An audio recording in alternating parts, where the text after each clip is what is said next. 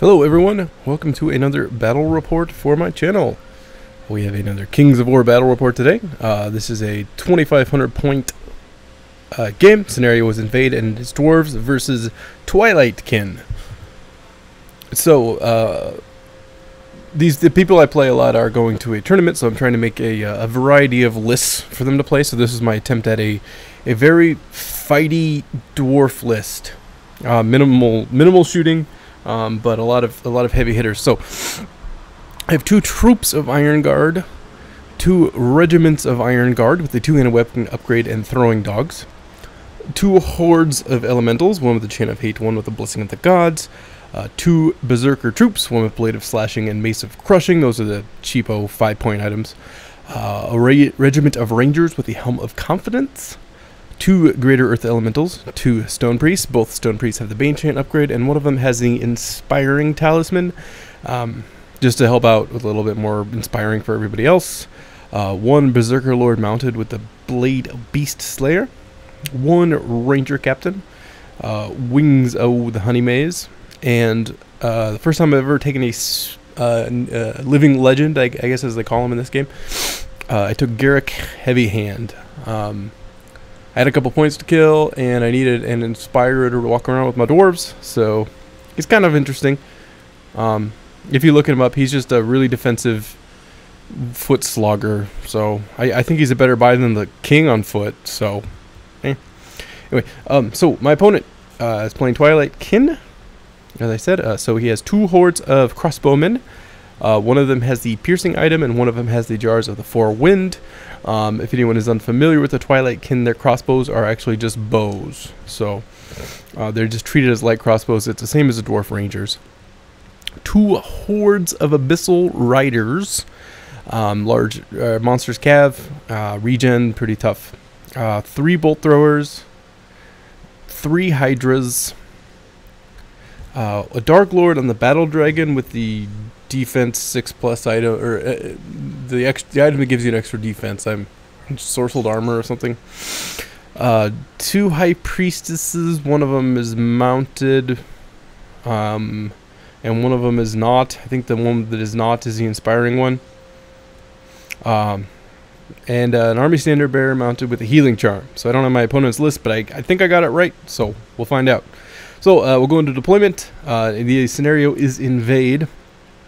So from left to right, those bones, um, Cthulhu-looking guys, those are his uh, abyssal abyssal riders. So his monsters calf. So uh, there's one of his hordes of abyssal riders, or what are they called? Abyssal riders. Okay. And then uh, his dragon is in front of them. Uh, one of his priestesses on the horses next to them, and there's a bolt thrower, hydras, horde of crossbows. Um, after the horde of crossbows is another hydra, bolt thrower, horde of crossbows, abyssal riders, uh, and back there there's the oh that, that the the white character the white the white model there is in the middle is as his inspiring priestess. And there's another Hydra, the healing charm standard bearer, and then and another bolt thrower. Uh, for dwarves, so we'll go from left to right. Um, uh, Iron Guard two-handed weapons behind, Iron Guard shield in front. Uh, Garrek Heavy Hand is the standard bearer there. So then Iron Guard shields, Iron Guard two-handed weapons. Um, and, and, and uh, this is after Vanguard, so my my uh, Ranger Captain is way up, way up there. Um, so then we have Earth Elementals. The the elite the elite ones are the lighter colored ones. Uh, behind them is one of the troops of Berserkers, uh, and also behind them is one of the uh, Greater Earth Elementals. So he's a lot of bolt throwers. So I don't want to give him uh, easy targets. So I put my the only thing I can hide my Earth Elementals behind to give them cover is my or my Greater Earth Elementals give them cover is my Earth Elementals because it's the only other thing I have that's more than height one. So that's what they're doing. Uh, and the obviously the uh, Berserkers are hiding behind too because they are extremely squishy. So then I have uh, Berserker Lord. He's in the middle. Here we'll go to this picture. Uh, he's in the middle. The Stone Priests are both in the middle. Another Berserker Horde with Berserkers behind, or not, Earth Elemental Horde with Berserkers behind, and Greater Earth Elemental behind. And then you can see the Stone Priest, and then way off on my left and his right is a my uh, self-inspiring Rangers. So here's an overview of what you can see. Uh, this is again after Vanguard, so my Rangers way over there have moved up. Um, I put them over there is if they if I get first turn, they're in range to shoot at his bolt thrower, and my hope is just to just to waver it. I mean, killing it would be great. Um, and on the other side of what I'm doing is my ranger captain there is not chargeable by anything, and he can charge the bolt thrower there turn one. So that's that's my general idea. Um, otherwise, I'm just going to slug forward. Um, I have as good of screens and lines to set up as I can, so he's he's going to have a lot of trouble shooting through all my defense six stuff out front, and just to try to push through is my my idea. And obviously, the uh, elementals are there to go through those woods because they have Pathfinder. So turn one, and fortunate for me, I get turn one. So with the with all that vanguarding, I always take turn one when I can get it. Um, these guys sit still because they don't need to. Uh, but you can see here these everybody here moves up pretty much their full speed. Uh, the uh, Berserker Lord has moved up to um, get a few options. He can charge the bolt thrower. He can charge just about anything. Um,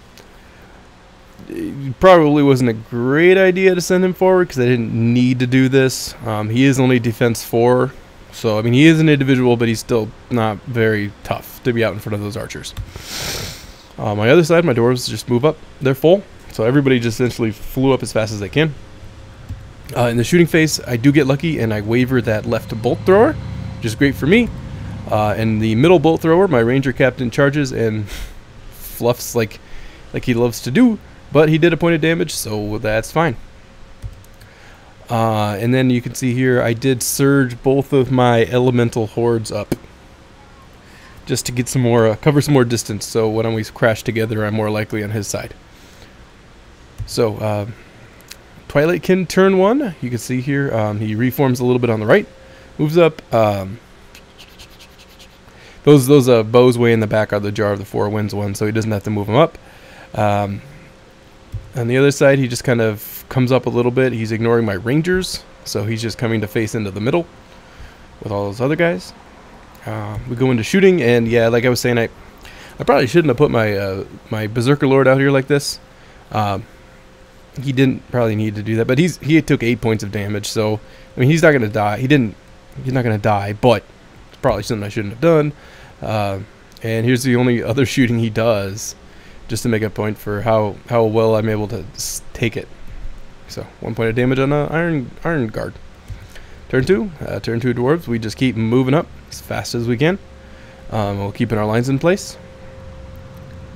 So yep, on that side and up over here. So I, I would generally prefer to have my greater earth elementals take the charges as opposed to my hordes of earth elementals, but um, again, just so that they can have they can have cover. They're they're behind.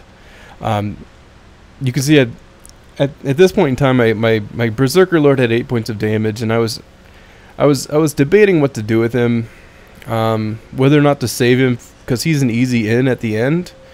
If I go hide him, because he can just he can just essentially just run in and score. Um, but if I didn't hide him, he was going to die anyway. So I, I probably didn't need to do this, but I threw him into the horde of archers just to disrupt them. Um, and like I said, I probably didn't need to do it because, yeah, they those are the piercing archers, but they're not going to do that much damage. Uh, over here, my rangers, um, the entirety of the game, for the most part now, they just move up five inches and shoot. Uh, my ranger captain does terrible again, uh, but he has a couple points of damage as bolt thrower, so it's not doing anything. Uh, my berserker lord does like three points of damage to these guys, but that that's fine. He was just there to disrupt them and then die. So yeah, that's what it looks like. The end of Dwarves 2. Um, so Twilightkin turn 2, it charges all around. Um, at the bottom there, those Abyssal Riders charge my Iron Guard. The Hydra charges my Iron Guard. Um, that Hydra at the top there charges my Earth Elementals, which is just fine for me because he is not Pathfinder. But it was charge or get charged, so you know. Um, and over here, he gets a double charge off on my uh, Vicious Earth Elementals, which isn't great, but he's got those Abyssal Riders. Uh, I think those Abyssal Riders are the one that are. Uh, they might have had Pathfinder or something, but then he has his Dragon Lord thing in there too. Uh, and back he uh, double charges my uh, my Berserker Lord. Throws a Hydra in there for good measure. Um, so he goes into shooting, actually gets a Bane Chant off this turn. his archers. Uh, he gets a Bane Chant off on his Abyssal Riders. Um, he does really actually pretty good in shooting this turn. He actually gets five points of damage on Garrek Heavy Hand. Um, yep. So we go into combat. Um, starting over here, these guys do nine points of damage to my Iron Guard, which wasn't super surprising, but you know that's they're not gonna be able to handle that. So they rout. Um, over here, his Hydra does three points of damage, which is pretty pitiful, so they're fine. Uh, this Hydra does one point of damage, which is actually that surprising. Uh, the combined Dragon Lord and Abyssal Riders uh, kill my uh, Greater Earth Elementals, which is a bummer, but it happens. So that's he doesn't really do much for reforming. Uh, and over here, yeah, they, they do um, a, a defense a defense for dwarf isn't gonna last very long against like 20 attacks. So he he's dead. He he dies, but you know he did a thing, so that's cool. And he reforms like that. So you can see he turned his uh he turned his crossbows back around to um shoot at my shoot at my ranger captain because he doesn't really have much else to do with them. So uh, that's the end of turn two. You can see we're smacking at the table, but for my benefit, we're actually a little bit more on his side than we are on mine. So since it's invade, that matters. Turn three, turn three dwarves uh, do the full counter charging that they can. And and then this is a this is a giant mess. Um, so me try to explain it. Greater Earth Elementals into the Hydra. Um, Berserkers there go into the Dragon Lord, and Greater Earth Elemental goes into the Abyssal Riders. Oh yeah, that that picture helps a little bit. And see my Rangers just moving up a little bit and shooting. Um, over here, I throw a dog at the. Um, uh, this is the armor standard bearer with the healing charm, and he gets a point of damage through, but nothing else. Uh, my rangers put a point of damage on the leftmost bolt thrower and waver it. Um, I get a Bane Chant off of my berserkers, which is good because they're hitting a defense six guy. Uh, my ranger captain finally figures out how to use his weapon and and doubles the amount of damage he's done in the last two turns and routes the uh, the thing. So uh, I go back D3 with him so I can see the other bolt thrower. Uh, over here, lucky for me, I didn't. I only did eight points of damage, which is pretty good for these guys. Um, but I actually end up routing the abyssals, uh, which is pretty huge because then I can do this. Um, these guys do a whopping one point of damage to a Hydra, but that's fine. I don't actually probably want to do damage because a Hydra gets more attacks based by the points of damage it has on it. Uh, the Greater Earth Elementals do a bit of damage to the Hydra and waver him, which is sweet. Um, the Berserkers actually end up getting 5 points of damage on the uh, Dragon Lord, which was pretty amazing, but yeah, he's fine. Uh, this one's hard to see, but the Greater Earth Elemental barely gets 2 points of damage through on the Abyssal Riders, so I mean, at least he did something, but yeah, that was pretty, pretty, pretty weak. So, uh, Dwarves turn 3, it looks like this. Um, Twilight turn 3, it's not going to look too different. We're pretty stuck in at this point. Um, yeah, just counter charges where he can. He puts his Hydra back in. Um, so the couple things that happen different here is his Abyssals go back into my Greater Earth Elemental. His Hydra there is wavered. His Dragon Rider jumps over the um, Berserkers and hits the Greater Earth Elemental behind him which makes sense. Uh, he gets a Bane Chant off on his Abyssal Riders again, which is a, a, real bummer for my Greater Earth Elemental. And then he also gets a Bane Chant off on his uh, Dragon Lord, which is a super bummer for my other Greater Earth Elemental. Uh, I think I'm just showing regen here. He regens a bunch of the damage back. Uh, shooting, he gets some damage on Mom. Ranger Captain, but he's fine. Uh, combat here, um, yeah, he does a pretty good job to my Greater Earth Elemental, but he's okay. Uh, over here, though, oh, I forgot to add a route to this, but he does. No, he doesn't. So he doesn't. He, he, this is this is pretty funny, at least from my perspective. He is. This Dragon Lord gets ten attacks, and he and he successfully did nine wounds to my uh, Greater Earth Elemental. Which, when you're hitting, when you're winning on twos and re-rolling ones, I mean, it's pretty easy to get all your damage through, but he got all of his hits through basically too. So that was rough. So that's what we look like. That's what we look like. All right, turn four. Turn four. Um, turn four. We go in for a double charge on the Hydra. Uh, Garrek Heavy Hand starts kind of running up to uh, maybe go smack around some other guys, which in the instance was probably the bad thing to do. Um, I probably should have kept him back and just kept him inspiring. But anyway, um, so I double charge his Abyssal Riders with my Berserkers and my Greater Earth Elemental.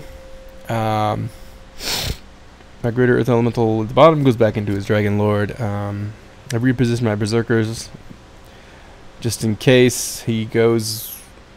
I mean, yeah, if he goes back into my Greater Earth Elemental and kills him, at least my Berserkers can try to hit him, and my greater my Earth Elementals go back into his Hydra. Uh, see over here, so my Rangers are finally making it across the board with their five-inch move shoot. Uh, we get two Bane Chants off, a Bane Chant on my Berserkers, which is great, and a Bane Chant on my Earth Elementals, which is also great. So on the other side, not surprising, those dwarves, um, the flank, you know, they didn't actually do very good, but they did enough. So we were out the Hydra on that side, so we reform like this.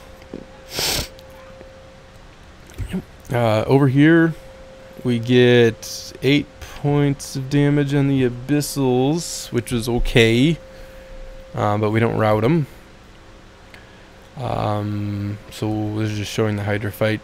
Um, these guys easily pick up the Hydra pretty good. So that's good. They reform like that. Um, oh yeah, and you can see at the bottom, I think my Greater Earth Elemental failed to do any points of damage to his Dragon Lord. Which is pretty sad, because he should hit on fours and wound on threes. I mean, it's pretty bad luck. But anyway, just another shot of that. So you can see we're getting across the board, so it's definitely a, as far as invade goes, I'm doing pretty good. Um, just showing a, he got like seven out of eight regens or something like crazy like that this turn. Um, he doesn't do a lot of moving. He countercharges my Greater Earth Elemental with his Abyssal Riders, and his um, Berserker Lord goes back into my Greater Earth Elemental. Yep. So we go into shooting, and he gets another Bane Chant off on his Greater Earth Elemental. He gets a Bane Chant off on his uh, uh, Greater Abyssal Riders, or Abyssal Riders, whatever they are. Uh, shooting, I think he gets a Bolt Thrower into these uh, Berserkers. They're okay.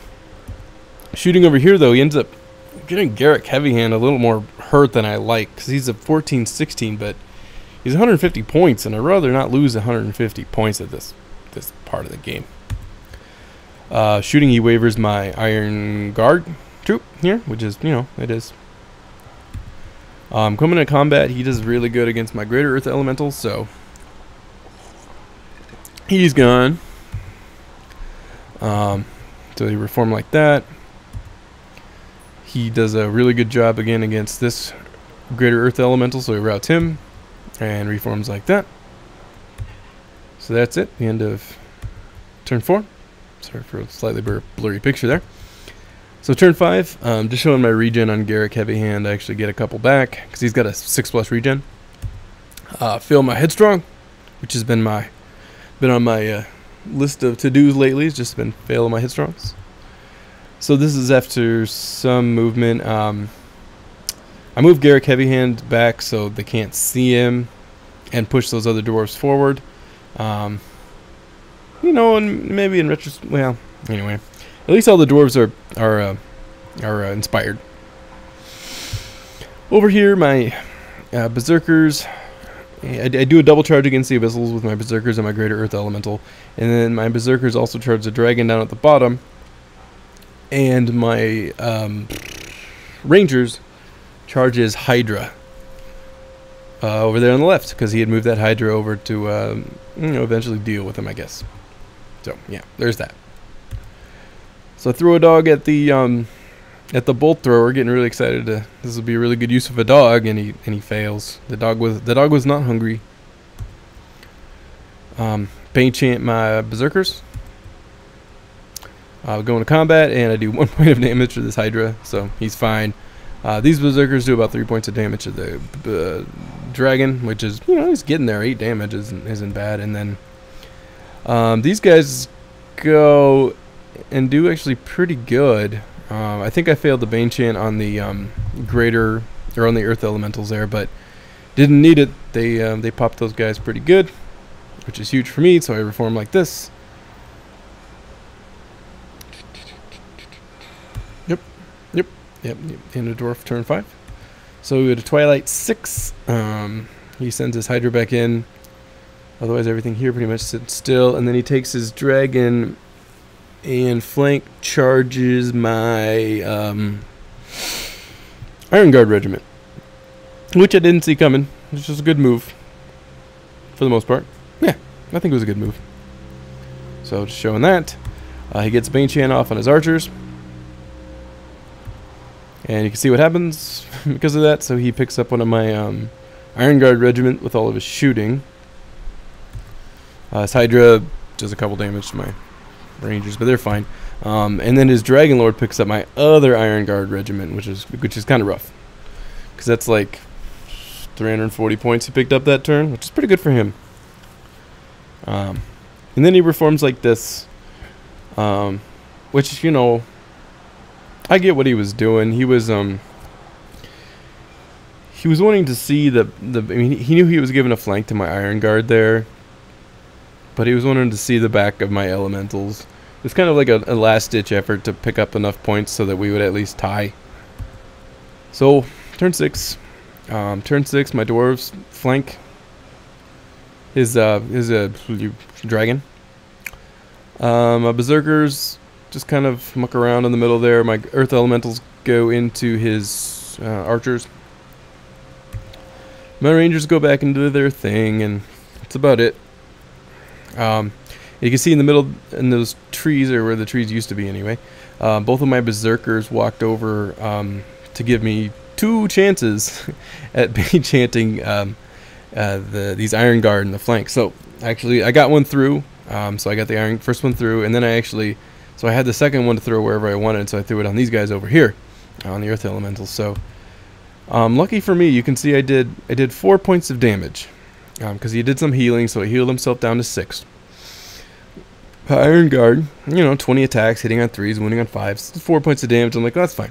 Oh, oh, and also Garrek, Heavy Hand is in there, but Garrek Heavy Hand sucked a lot at this combat. I think he did like one point of damage, but luckily the Iron Guard were there to pick it up. And and while he's still like, I think he's like a 17, 19. I I rolled really good and picked the dragon up, so which is really big for me. Um, keeps everybody safe and just takes a huge amount of his points off the board. So, um, why am I? this is out of order. Sorry, sorry. Ignore that one. And oh, uh, combat my rangers. I think maybe do a point of damage. Here, here's the one that we're supposed to be. Okay, so my uh, earth elementals do a lot of damage to these guys, but of course they're fine because they're elves. Uh, yeah. so he uh, ended dwarf six, which I think is pretty reasonable picture. Um, yeah, not to be too much spoilers, but remember how this looks. So, um, yep, yep. So, shooting, um, turn six, he shoots. Uh, trying to pick up these uh, Iron Guard, he doesn't get them. He shoots, he picks up the only scoring berserkers. The other berserkers aren't scoring, so he picks them up. Uh, and his Hydra does pretty good, but he doesn't pick up these guys, and they're scoring. And and not surprisingly, his uh his elves didn't beat up my elementals. So uh, we go to see if there's a turn six, and there is a turn seven, and there is not. So uh, sorry, I forgot to take uh, like an overall picture of the board, but anyway. So for scoring, Dwarfs had 835 points, and the Twilight Kin had 195 points. So it was a Dwarf victory.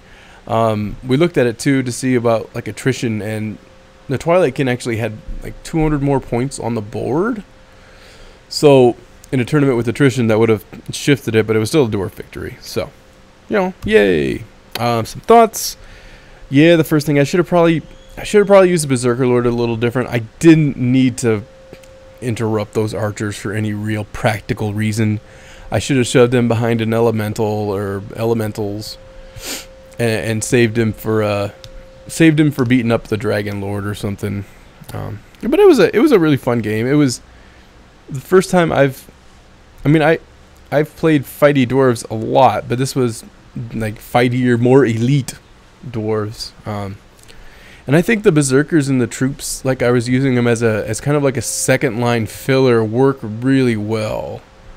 Um, I, I really actually kind of like that that they can pick up where the where where the other people fall off.